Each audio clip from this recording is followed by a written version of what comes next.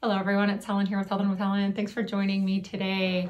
About a month ago, I did a workshop on strengthening your faith while drawing close to Jesus. And the night before my workshop, I came across the coolest thing on a social media platform, which was exactly what I was going to be talking about. So I didn't even know that this really existed, which is funny because over the 10 plus years, I've actually been doing this naturally, getting up and kind of doing this in sequence. And so then I came across this thing on social media and I was just like, what? Thought? And so I just wanted to show you a way to start your mornings with Jesus. It's amazing. This right here is not my format, but I thought it was the coolest thing. So I wanted to share it with you because as I said, I've been doing this myself. And there for a minute, I was kind of like, oh, because I thought I was special because this is something that Jesus has put on my heart over the last several years. And then I come to find out, I'm like, wait a second, he must be putting this on mm. everybody's hearts. And so I absolutely loved it though. And I think this will genuinely help you to walk with him and for sure will definitely get your day going in the right direction. So even if you have to give yourself that extra hour in the morning, it is so worth it. And so I'm going to show you this little worksheet. This is something that I just came up with myself, like that I colored in right here. So it says Jesus going down right here. And it's going to tell you exactly how to go in the mornings. I mean, obviously you can do it in your own format, but it just, for me, the one thing that I love to do in the mornings is I love to get up make myself that yummy cup of coffee or tea or whatever you need. And I like to get my day going before anybody is up and moving. So that way I have the quiet, I have the peace, I have the stillness. I've been doing this for years and it is priceless. Even when I had a coffee shop and I had to be down there sometimes at 6.15, 6.30 in the morning, I would make sure to get up at like four o'clock just so I had this time with the Lord. And it really did set my day. So just setting it with intention. And so the first thing that I like to do is I like to sit in my chair, I'm drinking my cup of coffee, and I pull out my journal. So J is for journaling. And I have so many people say, Helen, what do you do like when you journal? I've bought everybody a journal. And if you come to one of my workshops or events, you're getting a journal. everybody during the holidays gets a journal and they're like, why do you keep buying me journals? Because they have been a lifeline for me. This is where I come to write God letters. And I know that sounds silly, but I'll just say like, dear God, I have this going on in my life. And next thing I know, I'm in a page, two pages, three pages. So I love, love, love to just talk to him and tell him what's going on in my life and just put pen to paper. I also like to write down just silly things in my journals, like, you know, grocery lists and to-do lists and just the things that you wouldn't really think about.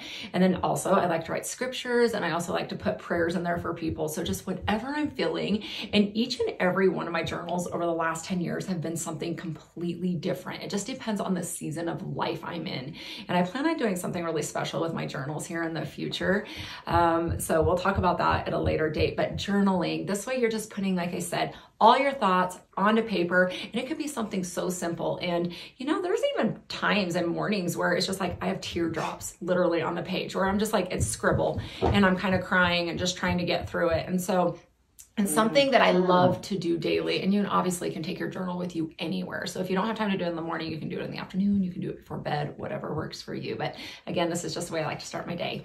And then we have E. So E is for engage. And right now, this is the time where you're just going to worship God in any way that you see fit. You can throw on some worship music while you're doing your hair, while you're in the bathroom, while you're getting ready in the morning, while you're getting the kids going, whatever it is, throw on some worship music. Some great worship music would be on like K-Love, whatever your station is for K-Love. You could also get on Spotify and you can look up so many different great artists. You can look up Elevation Worship, Tauren Wells, Lauren Daigle, Casting Crowns whoever you like to listen to. There are so many great artists out there. You can even throw on some songs from your favorite social media platforms right here. I find tons of stuff right here on YouTube and so just getting into some music, listening to it, just setting the mood, setting the tone for the day.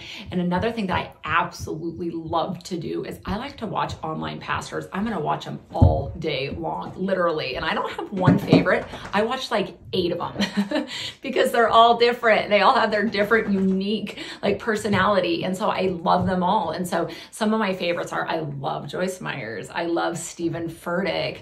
Um, I love Greg Laurie. And there's Joel Osteen, the list goes on and on. And so I will watch every single one of them or as many as I can before I get my day going. So another great one is Creflo Dollar. So you find your favorites, whoever speaks to you, speaks to your heart, and you just start watching those. But again, just getting that word in and going is another great way to start the day.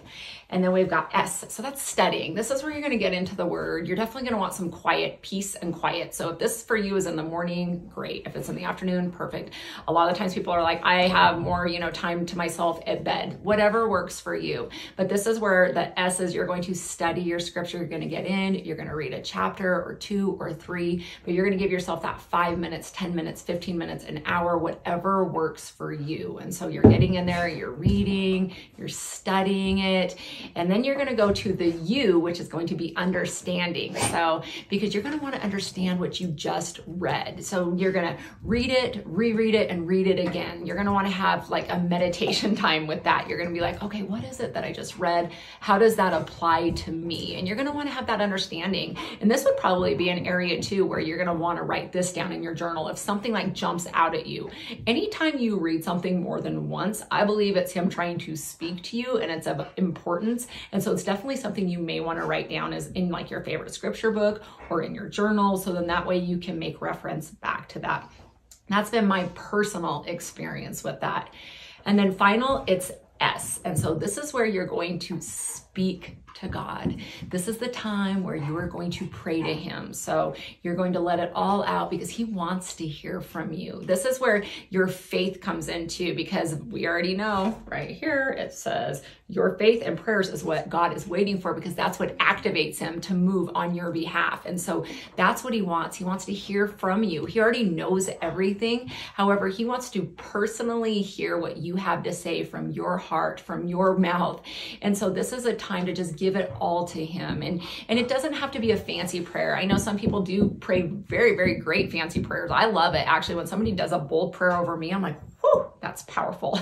but sometimes it's just going to be messy. And in fact, I can even recall two months ago when I was just like, help. Like god help.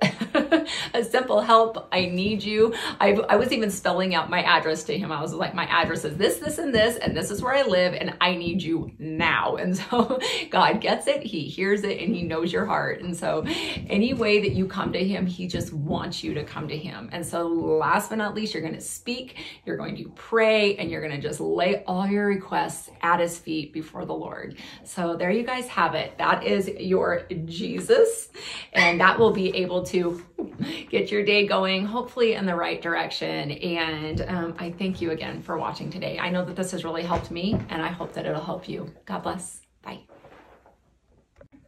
Hey everyone, it's Helen here. Before we get started, if you like this content today, I would appreciate it if you would like, comment, and subscribe to my channel. I could really appreciate the followers. Thanks again for watching.